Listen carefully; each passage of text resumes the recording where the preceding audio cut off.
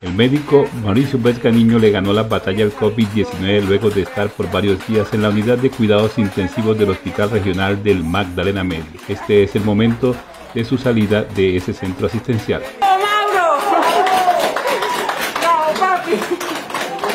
Este viernes fue dado de alta en medio de mucha emotividad por parte del cuerpo médico y de sus familiares. Gracias, salud vital, Dios les bendiga cada segundo de su vida.